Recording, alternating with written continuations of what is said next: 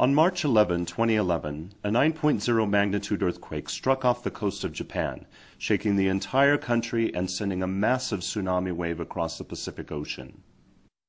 The earthquake noise was captured by a hydrophone, an underwater microphone, located 900 miles away from the epicenter in the Aleutian Islands of Alaska.